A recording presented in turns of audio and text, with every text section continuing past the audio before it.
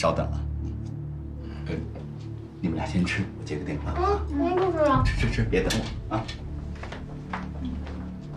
露露啊，嗯，你毕业的事儿怎么样了？就快毕业答辩了。嗯，可是我的论文选题改了好几次，还是没定下来。有这么难吗？理科类的硕士学位可难拿了，好吗？跟你们学文的不是一个概念。好，好，好，你是我们家小天才嘛，我相信你肯定没问题。那必须的。哼。然后呢？毕业以后怎么打算？嗯，我最近也一直在想这个问题。要不然，我先去鼎华的技术部实习，反正专业也对口。好啊。我知道已经过去十年了，我现在在鼎华就是个闲职。说是闲职，那也太谦虚了。鼎华常务副总裁，那算闲职？好了，我不管你这次回来想干什么，但是我得提醒你，现在不是十年前了。现在国家对稀有资源的管控异常严格。以前我们那么干打打擦边球还可以，现在再这么干，那是玩火自焚呐。嗯，那行吧，那就不打扰你了。不过苗总啊，缘分到了，该见面还是要见面的。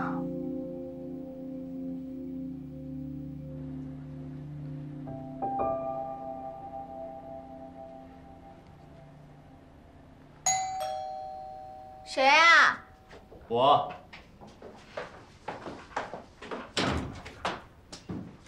嗯。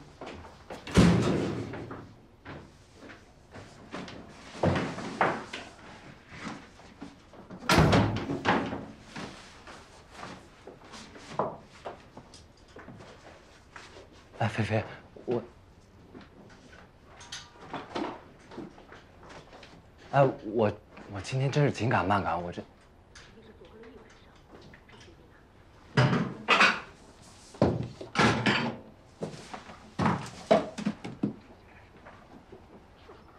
哎，咱爸呢？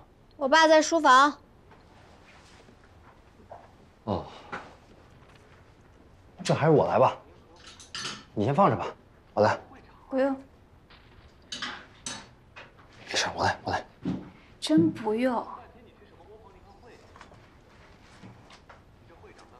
今天谈的怎么样？还挺顺利的。只要咱们公司能拿到更多的份额。第三笔融资马上就可以进来了。才过了半年，又是一轮融资。你们公司的步子是不是迈得太快了？放心吧，每个环节我都会亲自盯着的。咱们公司早点上市，我也好早点解脱，对吧？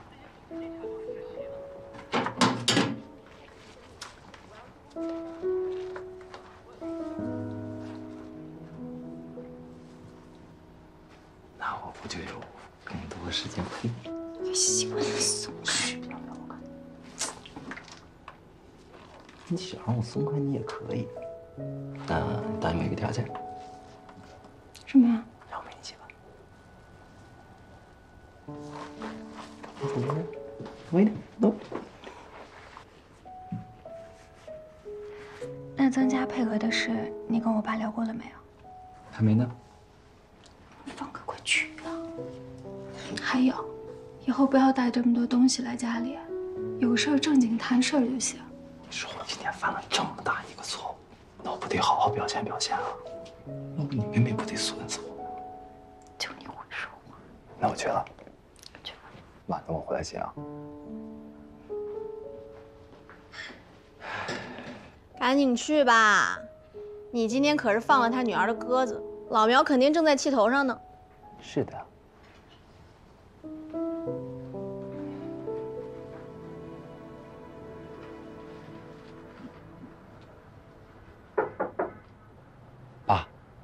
来，乔恩，来。爸，啊，哎，天这么凉，您披件衣服啊？不冷。长安，今天下午这事儿啊，我听露露说了。你要是想道歉的话，不应该去找菲菲吗？上我这儿来干嘛？爸，公司最近事儿确实有点多，我知道我也疏忽菲菲了。但是您放心，我今后我一定多注意。长安，我告诉你，菲菲是我捧在手心里宠大的，我可见不得她受半点委屈啊。明白明白。但是今天下午这确实也是特殊情况，我今天下午，你不用跟我解释，我就是提醒你，现在这个社会还是挺复杂的。你呢，过去怎么着我不管，但一旦结了婚，就要以家庭为重，千万不能让什么事影响到你的家庭。我的意思你明白吗？明白明白，谨遵您的教诲。还有事吗？哦哦，爸，其实我来找您是想跟您汇报点公司的事儿。里边聊。好，爸您慢点。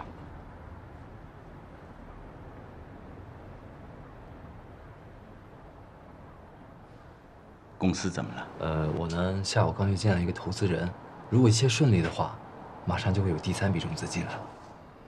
长安，从一开始，你就想把长安科技短线抛售，我说的对吧？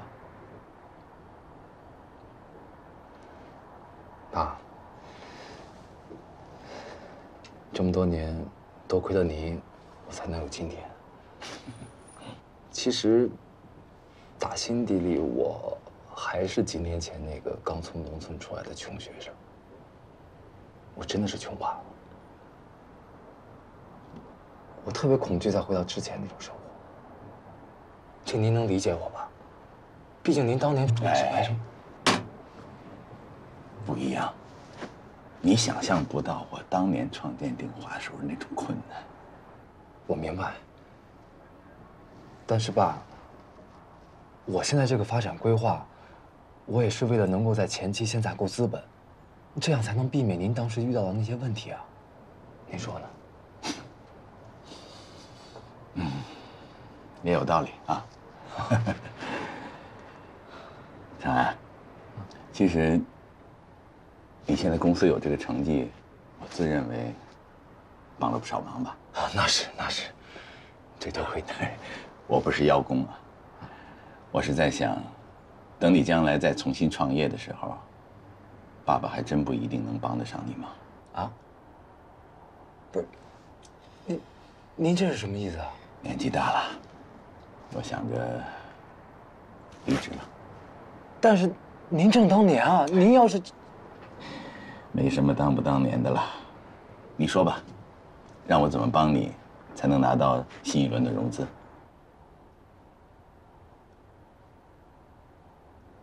得增加 DS 矿石的倍率。贾长安那边，确定真的没问题吗？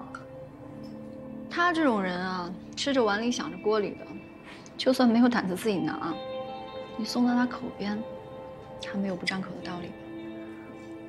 那你觉得他能搞定吗？现在管控这么严，配额不是说拿到就能拿到的。我觉得有他老丈人在，不会有问题。哎，对了，你觉得苗飞会不会看穿你跟贾的关系啊？一个含着金汤勺长大的千金大小姐，被男人追捧惯了，对自己的魅力自信着呢，不会起这个疑心的。这么肯定啊？我可是专业的，好吗？两年了，我陪着他看交响乐歌剧，陪他上瑜伽课，不就是为了跟他成为无话不谈的好朋友吗？对吧？他现在连买什么款式的内衣，都会先问我。你说我去不去？辛苦了。就是要送上手术。来来来，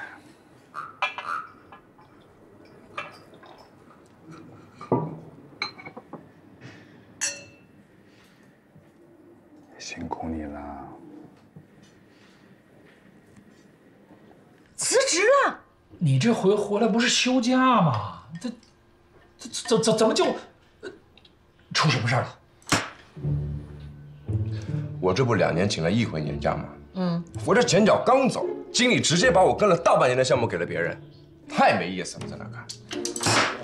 什么人呢？这种公司不在那干就对了。什么叫对了？那怎么能一走了之啊？你这这该争取的还得争取，还争取什么争取啊？不，你真是。那你你打算怎么办？我这两天投简历试一下，看看有没有合适我的岗位。哎，好，好，好，爸妈能帮上你什么？你说。哎呦，真不用。对了，还有个事儿。嗯，我呀，想自己租个房子搬出去住。你有病啊！搬出去住，花那冤枉钱。这是，妈，我都自己住习惯了。再说了，我要住一天两天还行，我真住久了，那肯定嫌我烦。哎，不不不不，你放心，我们一定不会烦你。你看你在家住多好啊，我们啊管你吃，还给你洗衣服，这不比你一人在外边饥一顿饱一顿的强啊？那不一样，我又不是小孩儿，您不得给我点个人空间啊？你想要个人空间啊？啊，那好啊，等你结了婚了，你想要多少空间，我们就给你多少空间。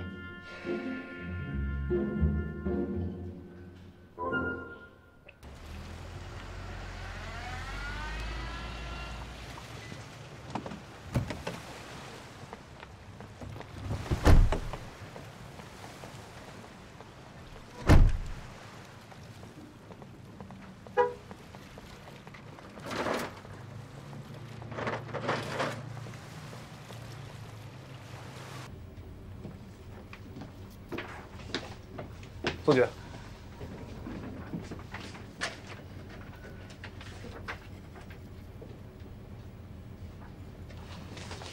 这什么？这个是公开渠道搜集到的长安科技的资料。这么快就开始查了？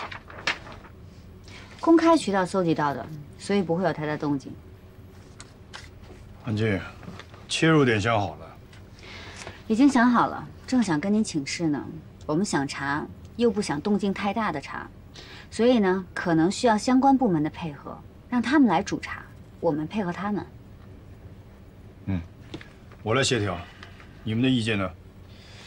呃，关于这个问题，我和安科长已经达成了一致。安静，你先说说长安科技有什么疑点？你们可以看一下我刚刚发给你们的资料。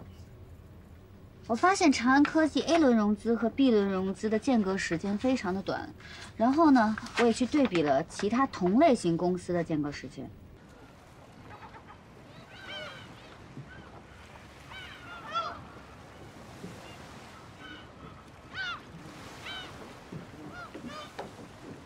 宋局，嗯，真的跟安静达成一致了。嗯，但是。我觉得还是有些冒险。怎么讲？这个怎么说呢？就很像扫雷的游戏，你永远都不知道下一步有没有可能踩到地雷。那如果我们真的踩到了，就满盘皆输。嗯，谨慎一点是好的，但是我对安静他们有信心。这我知道，我只是单方面的从案件本身考虑，确实容易见微生智。宋局，如果没什么事，我先回去了，继续查阅资料。安静，跟我走，杜蒙你留下，嗯，我送你，啊。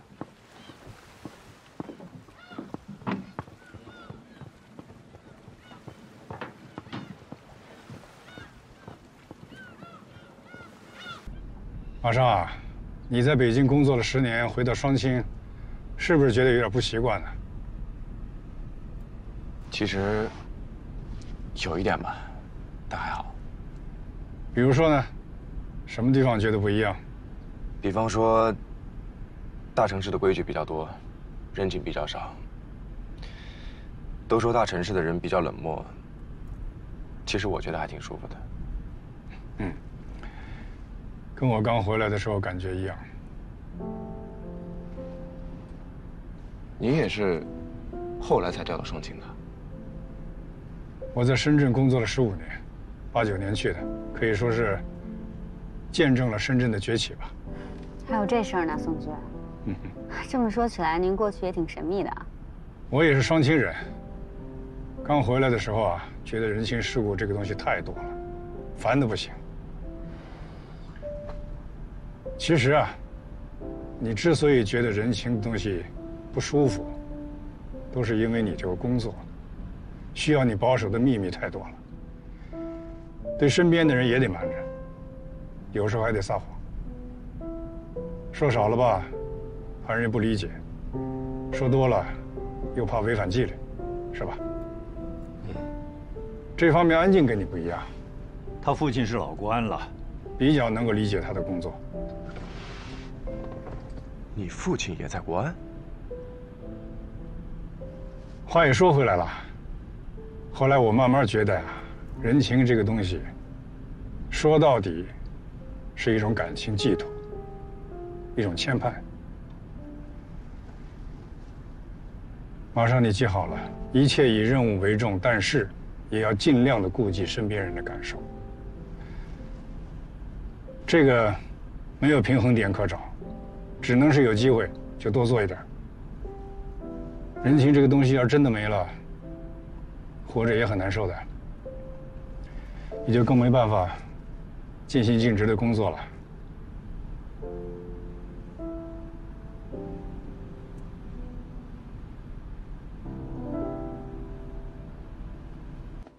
苗总您好，啊，我会个朋友，他应该已经在这儿了。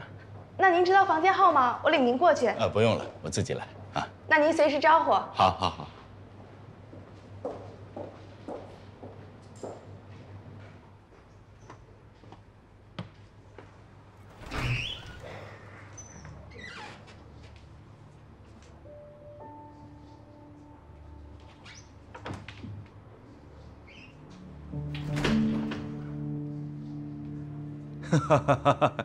苗总啊，来之前也不打个电话给我，我派人到门口迎迎你。不用，人多眼杂。坐下说吧。哎。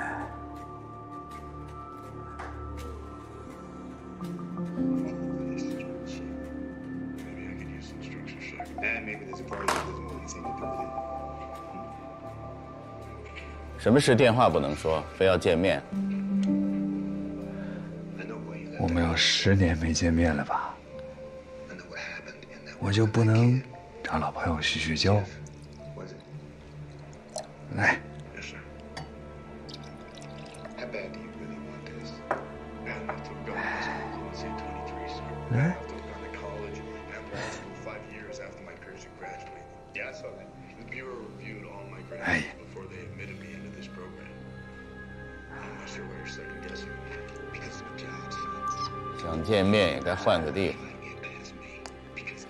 看见，会出事的。我们当年的合作，就那么见不得人吗？当年是当年，现在政策变了，而且我跟你也不可能有什么合作。以前的事，不必再提了。哎，老朋友见面不要把气氛搞得那么紧张嘛。老朋友，我跟你之间恐怕连普通的朋友也谈不上吧。我要是不把你当朋友，就不会在你当年落难的时候出手相救。你别以为我不知道，当年赌场的事都是你一手安排的，先害我输钱，再出手救我，这不是你设计好的圈套吗？是我拿刀逼你上赌桌的吗？啊！哎，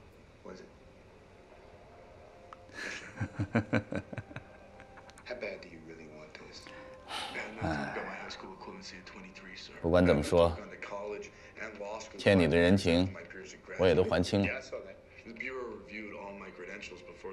行了，咱们换一个话题。我听说。你大女儿就要结婚了，你什么意思？我的意思是，我这个当伯伯的不能失礼。密码和过去一样。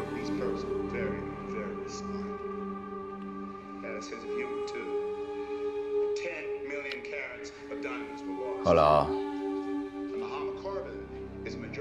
你这礼太重，我受不起。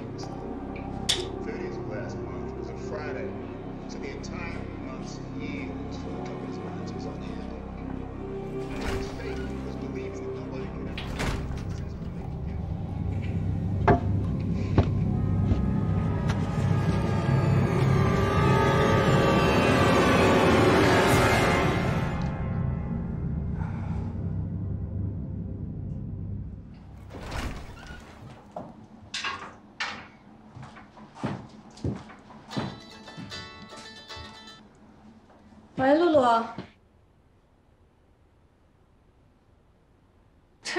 送的，你送的我都喜欢。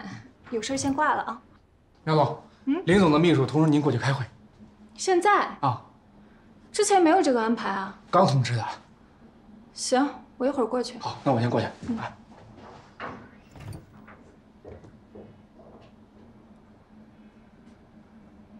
临时召集大家来开这个会呢。是有件事情想跟大家通告一下，苗总，还是您亲自跟大家说吧。那好，呃，这样啊，呃，我跟林总商量过了，今天请大家到这儿来，就是想公开的告诉大家，以免将来有什么误会。我呢，已经正式提出辞职了。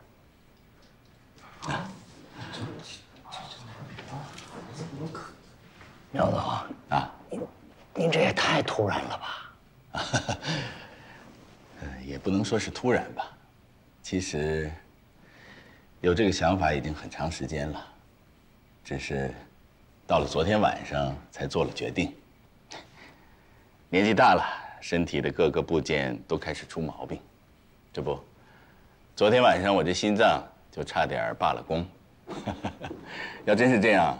我今天可就见不到大家了啊！哎，所以啊，我这也算是经历过生死的人了。总结下来，还是健康和家庭最重要。我们苗飞呢，很快也要结婚了，我想在家里享享天伦之乐啊！苗总，我觉得您这个事儿还得好好斟酌一下。你这这公司毕竟是您一手打拼出来的，肯定有很深的感情，怎么可能说走就走呢？而且这个 DS 材料人工合成技术的项目马上就要完成了，这对您来说是亲生孩子。你这在孩子出生的这一刻，您作为父亲，您得在。你说我说是不是？杨总不能走，你这怎么不能走？你这接下来工作没法做，我们。谢谢大家。说起感情啊，其实这些年在鼎华，确实有很深的感情。不过，我在这个位置上也这么多年了，现在年纪大了，我退下来，会有更多的年轻人有机会，对吗，李总？啊？哎，是这样的啊，苗总呢，虽然卸去了常务副总裁的职务。但是还继续会以顾问的形式留在鼎华，跟大家还是同事。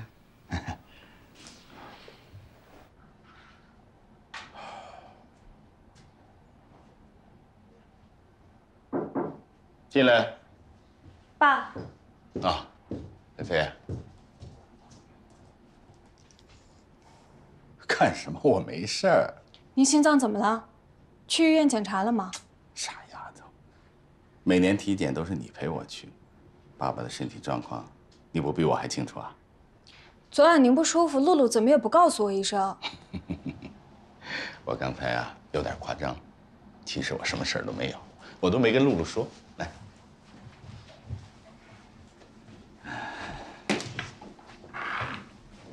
菲菲啊，你跟露露都长大了，也不用爸爸操心了。公司呢发展的也挺好。所以我想，我能提前退下来。不是爸，您想早点退休，我没什么意见，这个我都听您的。但是身体的问题没有小事，这个您得听我的。今年体检咱们提前做，我联系医院安排这事儿。好，听你的，都听你的啊。进来。啊，哎呦，那我一会儿再过来。不用不用不用，菲菲啊，晚上回家吃饭，把长安叫上啊。好，那我先走了。好。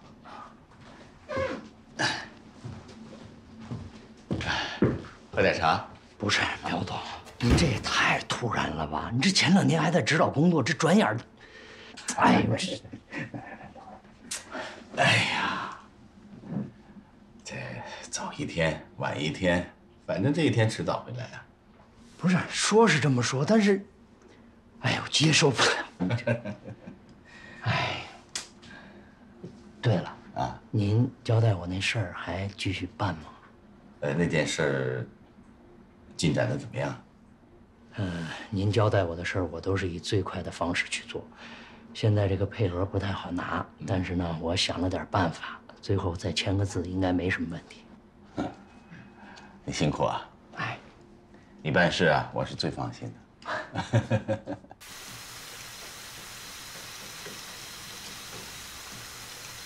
爸，来，我来洗吧。啊，不，洗完了。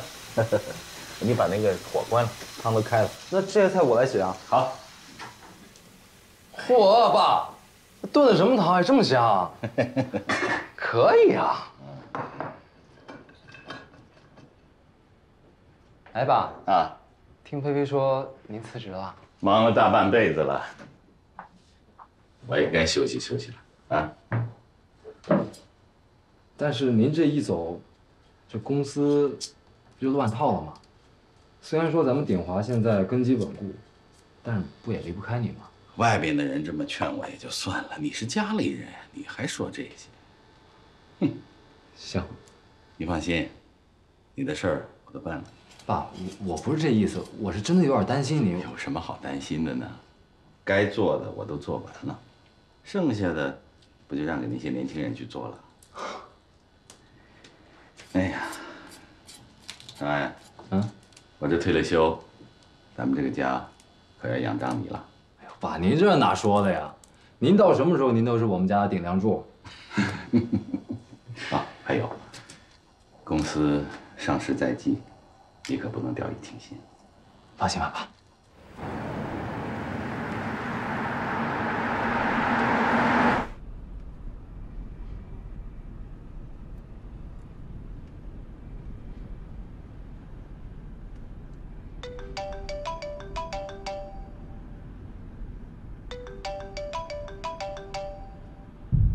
师傅，快边停一下。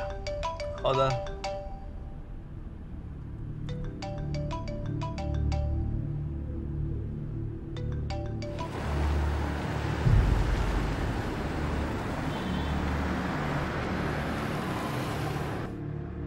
你在车上等我会儿。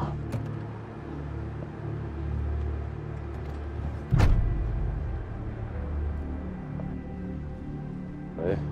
喂，长安。事情办的怎么样了？配额马上就可以拿到了。不过苗华阳私下找我谈了，他想多要抽成。你这个老丈人可真贪心啊！给女婿办事情还不忘给自己拿好处。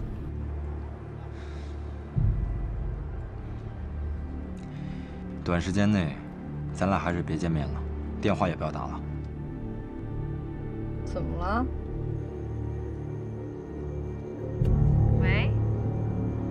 怎么了说话呀！你怎么了？喂？苗黄阳今晚说话一直都阴阳怪气的，话里话外都在警告我。我不知道他是不是发现了什么。他跟你说什么了，让你会有这种感觉？具体的我也不清楚，不过他最近一直挺怪的，今天还突然从鼎华离职了。什么？杨华要离职了？郑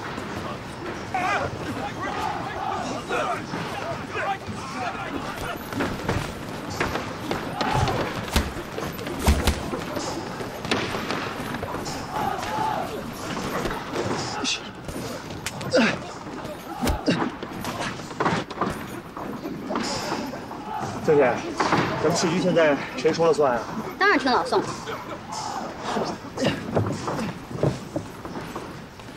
那凭什么咱们的行动还要听马上的意见？马上参加过很多大案，积累了很多经验，他的意见当然很重要。再来，继续。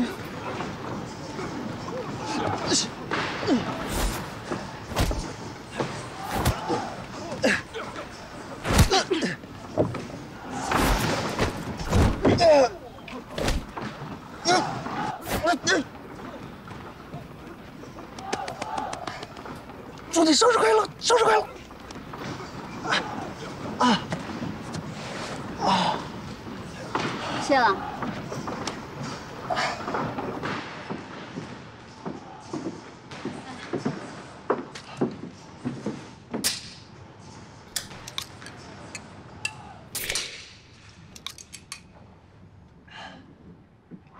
晚上给你过生日啊，我亲自选的地方，这么有心，那必须的，什么节目呀？保密。换衣服吧，干活了。郑姐，来配合的老张已经在等着了。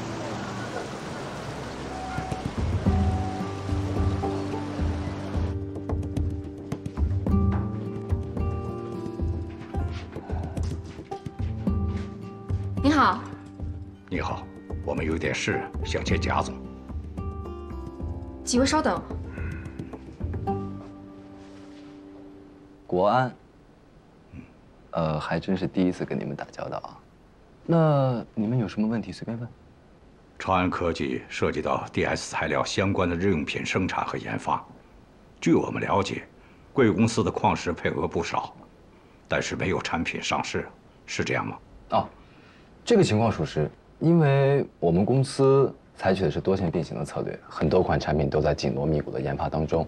就我们这个行业来说的话，呃，技术还是有一定难度的，所以呢，都还处于开花未结果的一个状态。所以，这么大量的配额都用在哪儿了呢？首先，我们的 DS 矿石不管是来源还是去向都是合法的，这点你可以放心。就单去向来说的话，一部分我们是用于日常的研发，另一部分呢，我们储存起来了。储存，我可以理解为是闲置吗？呃说闲置可能不太恰当，准确的说应该是战略储备。存在哪儿？这个我们有详细的记录，我可以提供。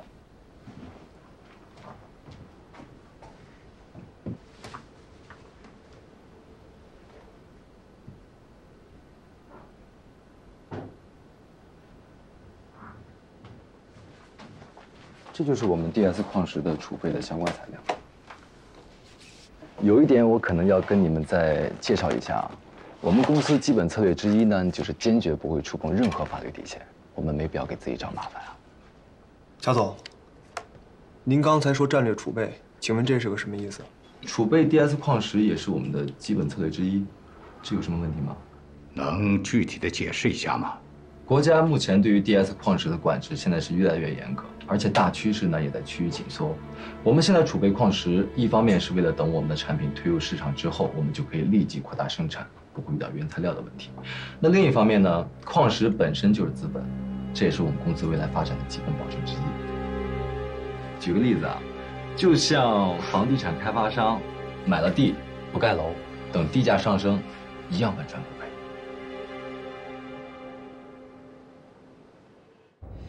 郑姐，我看这贾长安挺配合的，不像是心里有鬼啊。是吗？你再想想。嗯。对了，储藏这么多矿石，资金来源是哪儿啊？公司只有支出没有入账，这不太正常。不是这个，再想。啊。你有没有觉得这个人太配合我们了？啊？你想啊，他开的是一家公司，又不是一个作坊，怎么可能所有的文件都放在他那儿呢？对呀，他也没问秘书，也没找，直接就把材料拿出来了。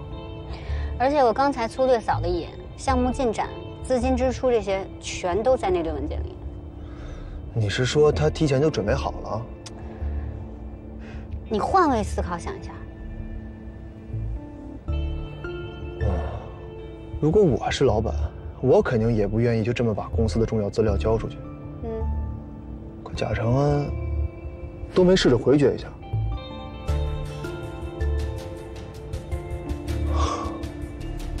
晴姐，你的判断没错，这个贾长安值得一查。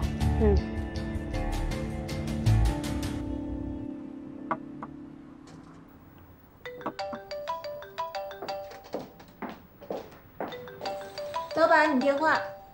你去忙吧。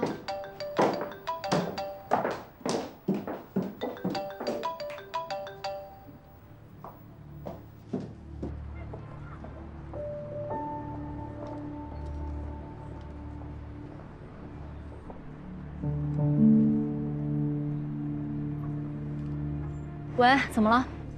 国安的人刚才来公司了，什么事儿？说是例行走访，但是但是话里话外都在问矿石的事儿。他们说还要再来，准备的材料呢？给他们了。那就应该没事儿，你不要自己吓自己。没事儿，没事儿，他们跑我公司玩来了。这样，你把监控调出来，拍张照片给我，我看看是谁去的公司，找找门路，运作一下。那那那我待会发你。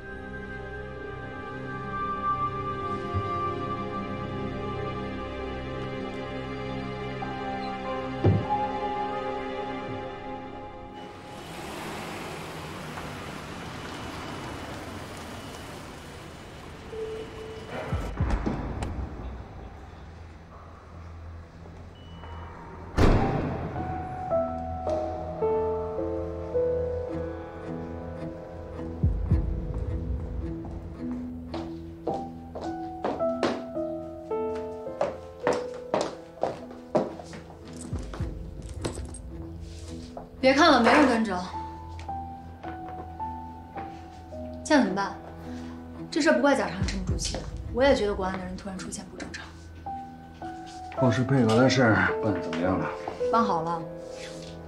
不过贾长安说苗焕阳那边要增加抽成，意料之中。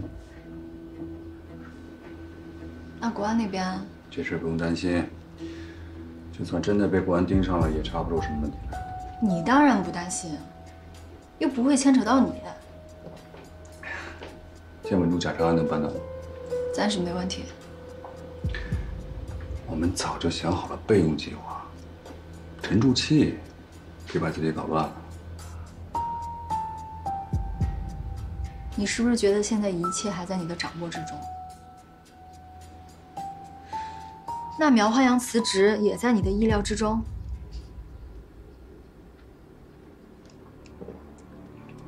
什么时候的事儿？你们见面的第二天。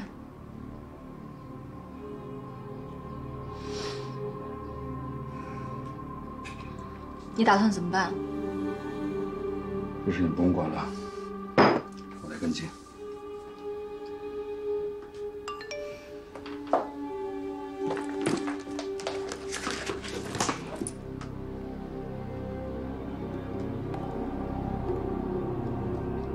长安把照片传过来了。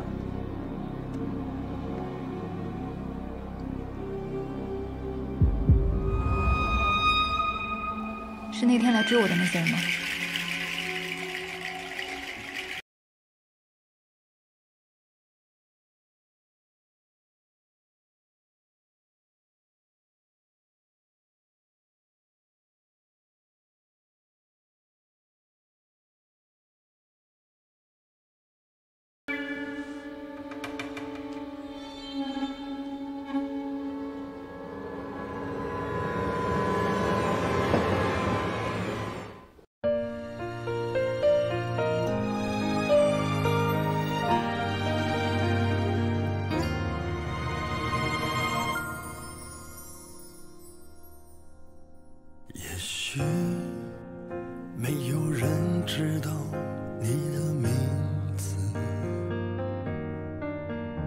像置身茫茫人海中平凡的种子，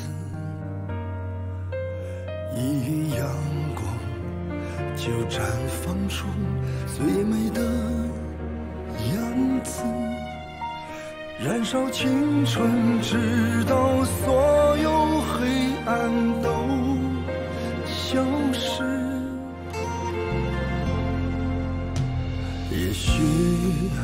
没有人记得你的样子，像千千万万个和你一样的池子，只为守护暴风眼中的那份平静。哪怕付出生命，